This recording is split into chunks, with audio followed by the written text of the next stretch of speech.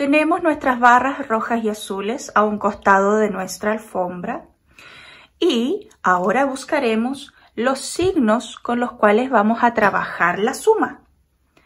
El signo más, más, observan, este signo se llama más y solo lo trabajamos con la suma.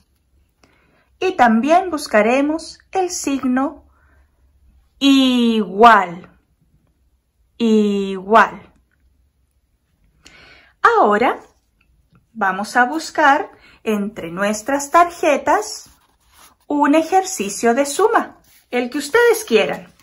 Lo escogen por ejemplo, aquí yo escogí este y lo voy a dejar aquí arriba. ¿Ya? Y vemos los mismos signos. Más, igual. Ahora buscaremos la cantidad que nos pide esta suma. ¿Qué número es este? 1. 1. Vamos a buscar la barra del número 1. La buscamos y la vamos a dejar aquí, al inicio. 1 más, más, ¿qué número es este? 2. Y buscaremos la barra del número 2. 1, 2. Y luego tenemos el signo igual. Igual. Vamos a leer nuestra suma. 1 más 2 es igual. A 1 le agrego 2. Como es una suma, nosotros vamos a contar todo lo que está aquí. Vamos a agregar 1 más 2. Contemos. 1, 2, 3. 3. Contemos de nuevo. 1, 2, 3. Ahora sí tenemos el resultado. ¿Dónde vamos a escribir el resultado? Después del signo igual. Escribiremos con nuestro, con nuestro marcador el número 3. 3. 1 más 2 es igual a 3. Leámoslo de nuevo. 1 más 2 es igual a 3. Perfecto. Buen trabajo. Como ya hemos terminado este ejercicio, lo vamos a guardar y sacaremos las barras que utilizamos hoy y la devolveremos a donde está el resto de las barras. Y el número que escribimos lo vamos a borrar. ¡Excelente! Ahora sí podemos seguir haciendo otro ejercicio de suma. Veamos un nuevo ejemplo. Veamos este. 5 más 1 es igual. Vamos a sumar. 5. Busquemos la barra del número 5.